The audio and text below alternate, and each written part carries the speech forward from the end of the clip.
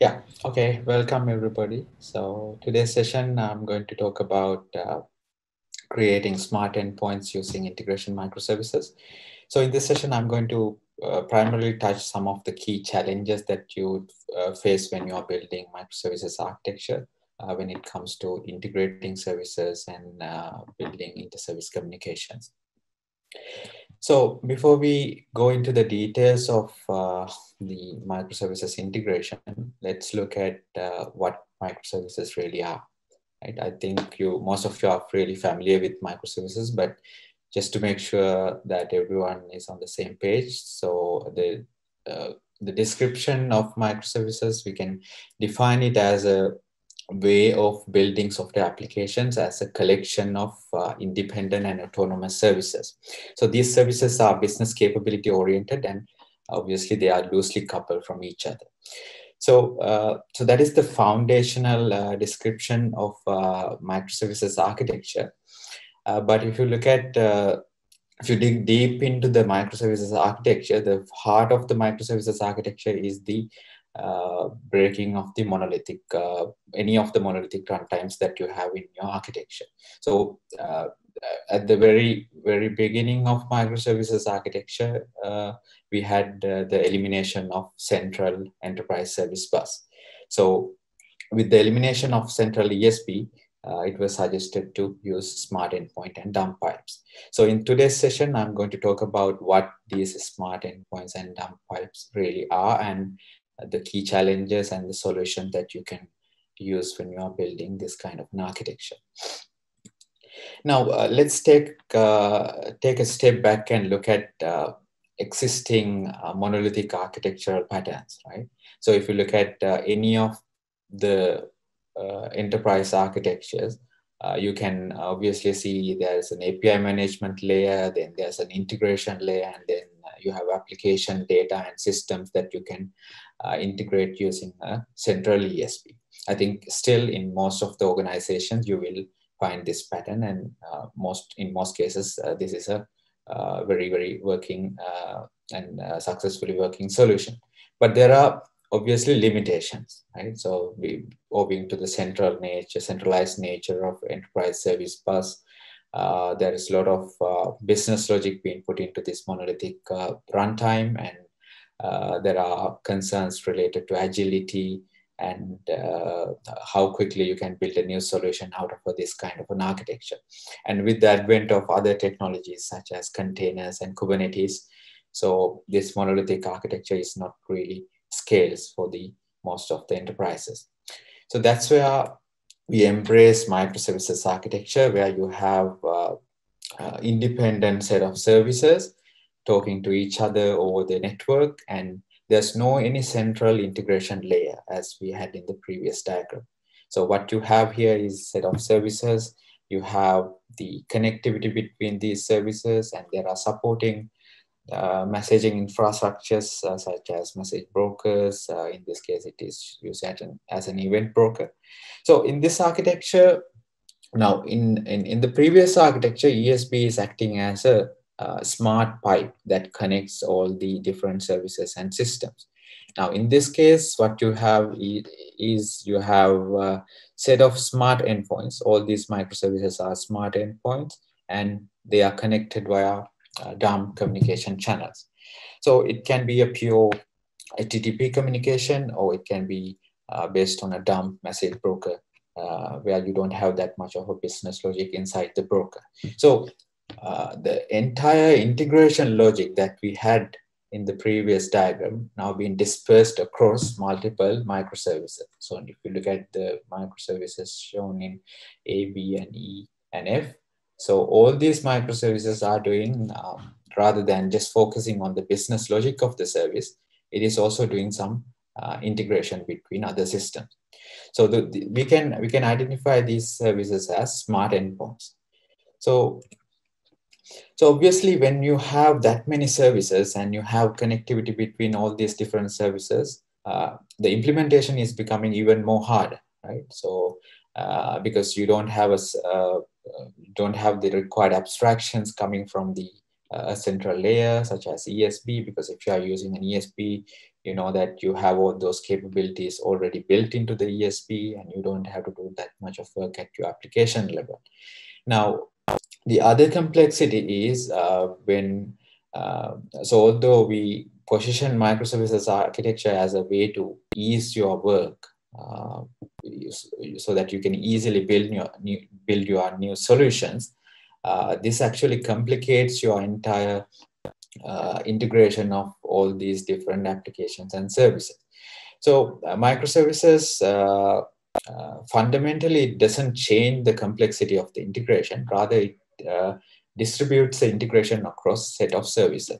Now, the, one of the best example is Uber. So this is uh, actually from, from, this diagram is from one of their tracing tools where you can see all the different inter-microservices communication. So they had like more than thousand services and uh, this is uh, like a typical point-to-point architecture that we talked about uh, in the pre-ESB era. So obviously integrating microservices is really hard. So that's why you need to have a, uh, that why, that's why you need to follow proper patterns and have a uh, proper technology to build these integrations. Now, another misconception that we have in this uh, area is that uh, service mesh versus integration, whether service mesh is a uh, is a distributed ESB or not, right? So one of the reason uh, for the inception of the service mesh is the exact same problem that we have seen in this diagram. So you have too many network communication. You need to have some uh, way to call your services in a resilient observable and secured manner. So that's why service mesh architecture came into the picture. So fundamentally, service mesh provides you an abstraction layer, a sidecar uh, that sits alongside your microservice so that you can offload all your uh, logic, which is not related to the business logic, to the sidecar component. So that's where you can implement all your routing uh, as well as security and uh, circuit breaking, resiliency, all those things can be offloaded to the sidecar and that can be controlled via a control plane. And but the thing is you, you can't really offload your composition logic, the integration logic. So for instance, if you have to call two services and, and, and create a composite service, the cre creation of the composition has to be part of your uh, service that you develop. So you can't uh, offload that, that to the side so if you need to uh, find more information about this, uh, I have written about this at uh, this InfoQ uh, ebook, so you can find more details there as well. Now, if we try to map uh, this concept into a typical architectural deployment, uh, what you can see is now we get rid of the ESB and we have set of microservices communicating with each other using different protocols. And on top of that, you can have the API gateway layer. And again, API gateway layer can also be segregated into individual micro gateways uh, uh, as needed. But uh, if your use case only requires a, just a single gateway, you can use a monolithic gateway as well.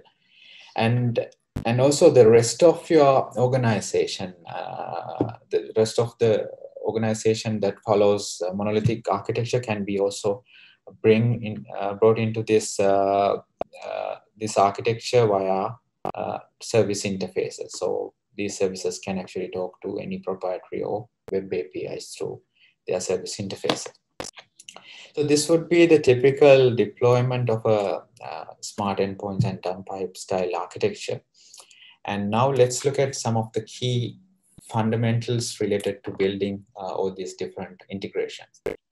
So the first thing is finding the right granularity because uh, if you build, uh, if your organization has thousand plus services, uh, unless if you're a, like a mega cloud or a very big enterprise or uh, very big enterprise with so many business capabilities, it is uh, sort of a symptom that you have followed some too much of a fine grained approach to build your services. So having thousand services. Uh, so the thing is, you need you need to have services which are proportional to the business capabilities that you offer to your consumers, right? So if you have like ten business capabilities and you have thousand services, so uh, it is not a proper design.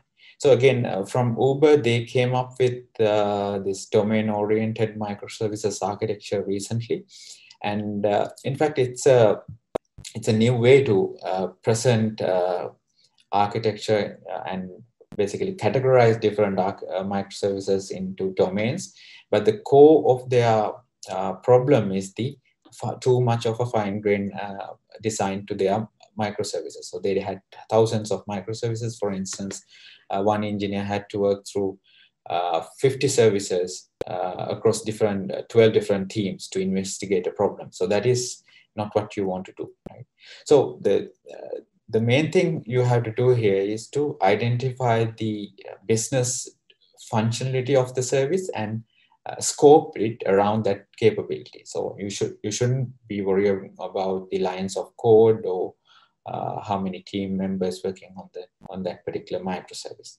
So once you have the proper granularity, then you can start looking into different uh, service invocations. And when you are using a technology to build this kind of a microservice and an integration microservice, you need to have a technology that caters uh, these needs, such as abstractions for inter-service communication. Uh, so you don't have to write a lot of low-level code to build uh, these integrations and also the ability to integrate with different systems such as uh, SaaS or web APIs and also proprietary and legacy systems such as ERPs.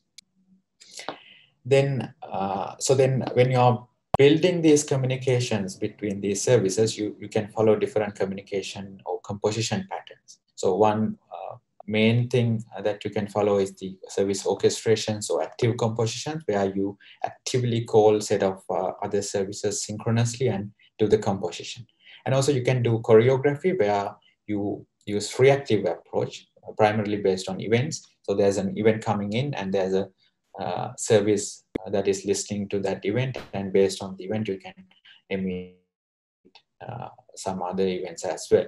So the same concept can be further extended uh, into event sourcing, uh, where you keep a consistent set of uh, event log, as well as uh, CQRS, where you basically segregate your querying and command part of your service into two different service runtimes.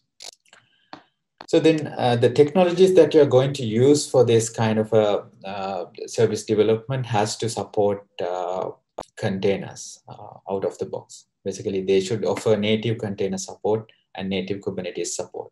So that also requires to have different uh, other resource uh, limit uh, constraints such as fast boot up time, low resource consumption. And if you have a built-in operator such as the Kubernetes operator to operate your integration within a given uh, cluster, that will be much easier to manage uh, the entire life cycle of your integration service.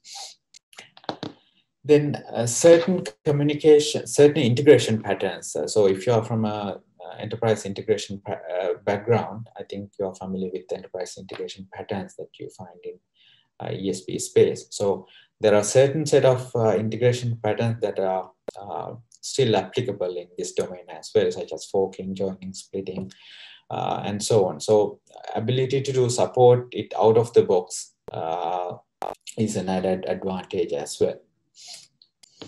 And uh, in, in most cases, uh, you don't use service mesh. In, at least currently, you don't service use service mesh in production in most of our uh, customers. So then you need to have reliable uh, inter-service communication. So that's where you need to have built-in resiliency capabilities such as circuit breaking, retries, timeout, and uh, those things built into the technology that you're using. So if you're using an integration technology and if you are if you can easily use a circuit breaker when you invoke a service, uh, that's basically cut down the development time significantly. And uh, especially when you are using uh, event-driven uh, or message-based communication, you need to have uh, reliable communication. So uh, we talked about uh, smart endpoints and dump pipes, right? So in, in most cases, in pre-microservices era, the brokers that we used to have are they are they are smart. There are a lot of smarts, a lot of routing logic that are baked into the brokers. Now, with this architecture, uh, you will basically use the broker as a pure dumb broker and your consumers, the, the consumers or the producers, that's where all the smarts uh, lies, right? So you, you are basically, uh, basically the solutions such as Kafka or even NATS. So they offer these capabilities uh, as part of the product itself because the, those brokers are providing the required uh, infrastructure level uh, guarantees, but you don't have that much of a business logic as part of the broker. So you, that, that part has to be done as part of your service. So when you're choosing this uh, integration technology, and if you have the capabilities to integrate with these brokers easily, that's, uh, that's an, uh, that will basically cut down the time that you have to spend on building that kind of a service and also when you have to deal with a lot of services you, that means you have to deal with a lot of types a lot of data representations. Uh, so one service can represent student one service can uh, represent a, a, person. Then you have to do some mapping between the two. So then you you need to have uh, proper type definition schemes uh, as part of your microservice development. Uh, for example you can use proto buffers or Avros, Avro for defining service interfaces and message types. And in certain cases, if you don't want to do everything programmatically, then you need to have some graphical type mapping between these types as well. So if, if your underlying solution offers these things as part of the uh, as part of its features, uh, that is an added advantage as well. Then you have the, uh, we talked about events and uh, reactive uh, communication. So events and event streams are also getting very popular. So this diagram actually shows you a, complete use case built using an event-oriented architecture. So uh, the key idea here is that you have events and you have event streams. Right? So events is uh, more or less acting against a single event that you uh, that a particular system emits. And event stream is all about processing a set of event streams uh, uh, more of a in a stateful manner. So you have multiple events coming in and you statefully process each and every event and you can also produce new events out of that as well. So there are certain uh, new, te new technologies on event stream processing, the built-in tech, uh, the built-in languages to process events in the uh, style of a stream. So if your service requires this kind of stream processing, uh, then the underlying technology needs to have the required abstractions as well. And uh, workflows and sagas. So sagas is a way of uh, running distributed transaction across multiple microservices. So with the concept of a saga, what you are doing is you uh, run one particular coordinator, Saga execution coordinator, which runs across multiple, uh, basically which invokes multiple microservices and you maintain the state in a distributed flow.